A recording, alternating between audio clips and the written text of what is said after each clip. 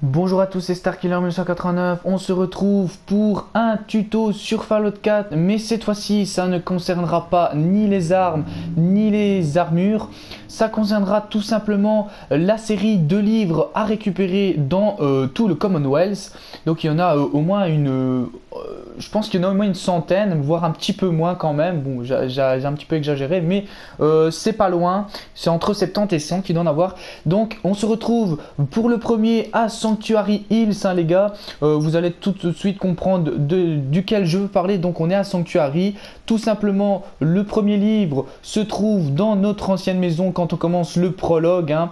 Il s'agit du livre le Grognac, le barbare, je pense que ça, ouais, Grognac, le barbare, donc le premier livre à récupérer euh, sur euh, la table, enfin ouais, sur le genre de, de plan de travail comme ça.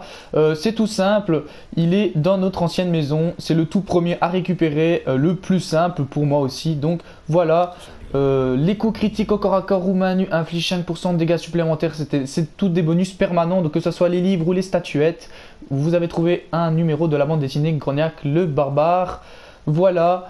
J'espère que ce premier tuto sur la série de bouquins vous aura plu. En tout cas, c'était le premier. Il y en a encore beaucoup énormément même.